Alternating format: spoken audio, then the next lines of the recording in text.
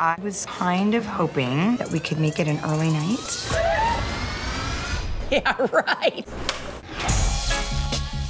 The heart of this movie really comes from Chia. I just love her leadership.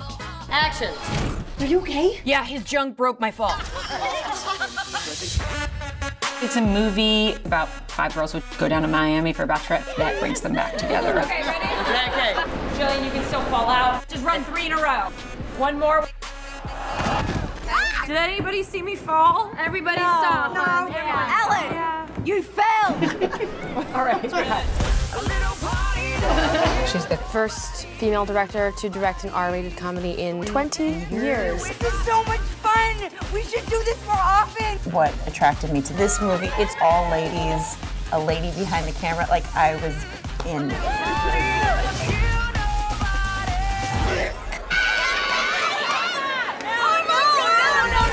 She is comedically a genius.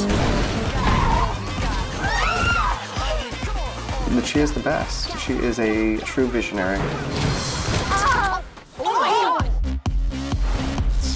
How are you alive right now? I don't know, but I'll take it. well, what's next?